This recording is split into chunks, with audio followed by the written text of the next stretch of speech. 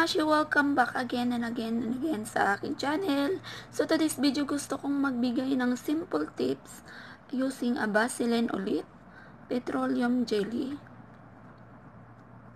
So at saka Belo Makeup Collection 02 at saka 08. Ma Belo Makeup Collection and Matte Lipstick 02 at 08.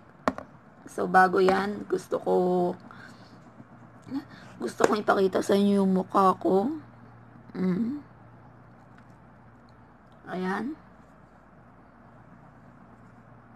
So, cream pa lang yung nilagay ko. Nilagay ko sa mukha ko. So, bago ako maglagay ng lipstick, lalagyan ko muna siya ng petroleum jelly yung aking lips. Konti lang. Tapos yung aking mukha, lagyan ko din siya ng konting amount. Dito lang na part. Kasi pagkabuo mo namang mukha ang lagyan mo, edi nag-oily na yan. Kasi pagka nilagyan mo siya ng blush on, tapos paglabas mo, tapos naarawan ka, ay pak, parang nagaglass skin yung mukha mo. So ngayon, yung 02, 02 na matte lipstick ang ilalagay ko sa aking mukha. Yung gagawin kong pang blush on. Tagal ko na itong ginagawa na parang tricks-tricks na rin. So, ganyan ako maglagay. Oh! ang ganda! Ganyan yung paglagay ko ng ano, ng blush on. Hindi mo na kailangan, kailangan ng lip tint. So, ginanong ko siya. Biniblend ko siya ng ganyan.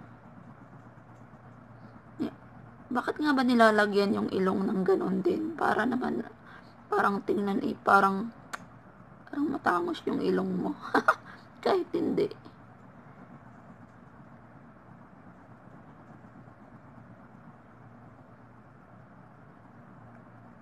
Oh. Mm, bak, ganon. Ang ganda, oh. Tapos pag lumabas ka ay parang ano, parang parang nagaglass skin yung mukha mo kahit wala kang ginagamit na stringent, kahit wala kang ginagamit na rejuvenating set. Ay, Vaseline lang, konting Vaseline lang, ay pak, ang ganda ng mukha. At saka ito naman ang ginagamit ko sa aking lips. Vaseline pa lang yung nilagay ko sa mukha ko. So, ito naman, nilagyan ko siya, di ba, una ng Vaseline bago lipstick para pagka pinatungan mo siya ng lipstick yung lips mo, nag, nag-shiny siya. Ang gandang, ang ganda tingnan.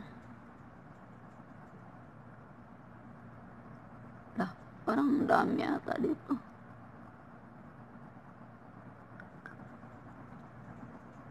Hmm, di ba? Ganyan lang kunting ano lang, kunting kunting lagay ng, ng amount ng lipstick tapos sa mukha mo pak panggura na. Panggura, panggura yan lang yung ginagamit ko kung paano ako mag-ano. Hindi na kailangang budburan maigi yung mukha mo ng mga blush on blush on. Lipstick lang okay na uh, pwede na rin siyang pang ano pang lip tint tapos konting lipstick lagay ng petroleum jelly muna bago yung ano. Para lalo pagka ano, pagka tinanggal mo na yung lipstick mo, ang bilis lang niya talagang tanggalin pagka mayroong petroleum jelly. So maganda talagang maglagay ka ng konting ano. Lips. So yun lang mga kamashi. Kung nagustuhan nyo, please don't forget to like,